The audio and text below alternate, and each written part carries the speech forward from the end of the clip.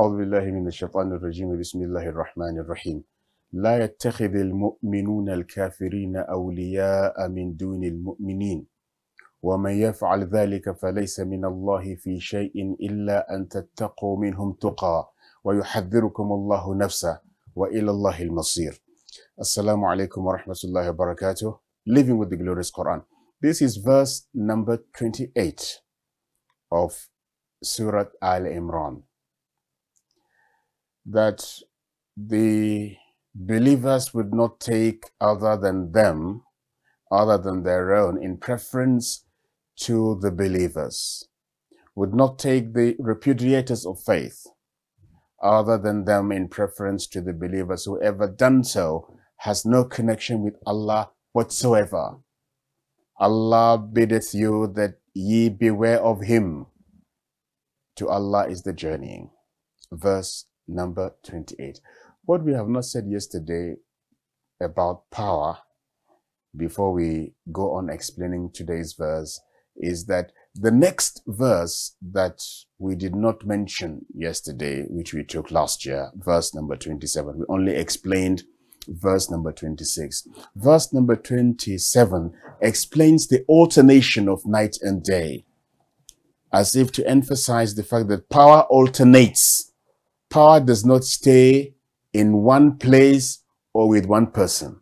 It alternates. That is why when Allah mentioned power in verse number 26, it mentions the alternation of night and day and the movement of the sun going into the day going into the night and the night going into the day to show that there is alternation, the vicissitudes of time. Today is your turn. Tomorrow is someone else's. You cannot perpetually be on power or in control. The believers are not to take the repudiators of faith as allies instead of believers or in preference to believers. Verse number 28 of Al Imran.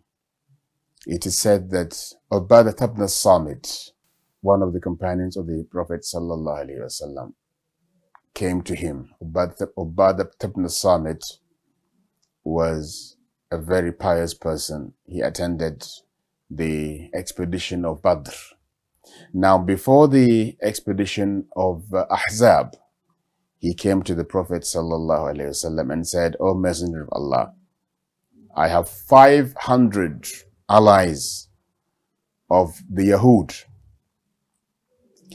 that we can take to this expedition and show off to the enemy because before the migration of the Prophet sallallahu to Medina, the, the Ansar and the Yahud were allies, strong allies, strong bond between them. So he thought, Ubad, Ubadat ibn Samit, that since they had this bond and they had this relationship, at the time of need, they should be able to take the Yahud to support the Muslims. So the verse was revealed that Muslims should take their precaution in expeditions like the one that they were about to embark upon. It is not right for them to take as allies other than their own. So that suggestion by Ubadat ibn Samit was not accepted. It was rated to be not the right course of action for Muslims to take. Because in another verse, the Quran says, يا أيها الذين آمنوا لا تتخذوا بطانة من دونكم. لا يألونكم خبالا. ودوا ما عنتم قد بدت البغضاء من أفواههم وما تخفي صدورهم أكبر. O you who believe, do not take as intimates others other than your own, who love to ruin you.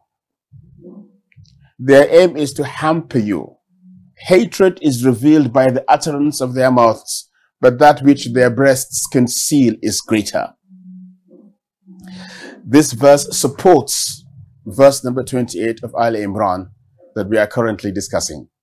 وَمَنْ يَفْعَلْ ذَلِكَ فَلَيْسَ مِنَ اللَّهِ فِي شَيْءٍ Whoever does that has no connection with Allah. Whoever takes as allies others than the believers has no connection with Allah. Allah will not love or guide them. So that is not allowed. Now, relationship with the repudiators of faith or kuffar cannot exceed three stages. One, where the enmity is very clear, is pronounced, hidden in plain sight, they say.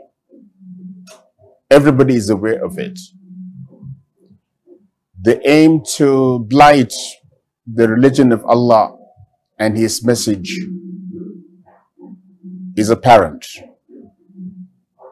In such circumstances, it is duty bound on the Muslims to, by any means necessary, forestall this dangerous encroachment to the teachings of their religion. Number two, where there is peace or treaty, ceasefire, whatever,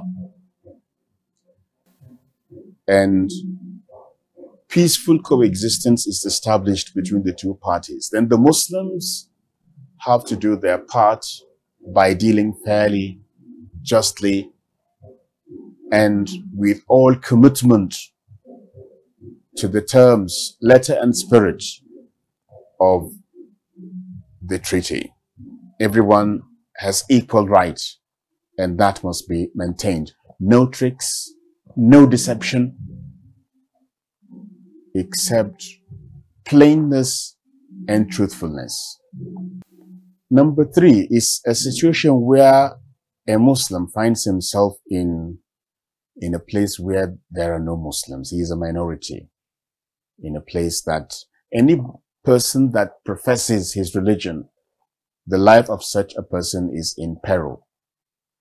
So that person is to tread carefully and that is the meaning of the of the latter part of the verse. Illa minhum tuqa, except where you protect yourselves. That is you tread carefully and you protect yourself. And that is the issue of uh, taqiyya. When we meet tomorrow, inshallah, we shall explain what is illa an tattaqu minhum tuqa. That except where you are to guard and protect yourselves from them and that is the issue of uh, taqiyya. And taqiyya is to present a facade of conformity to what is the norm in that particular place, even though you detest it. That will be explained fully, inshallah, when we meet tomorrow. Uh, living with the glorious Quran. Assalamu alaikum wa rahmatullahi wa barakatuh.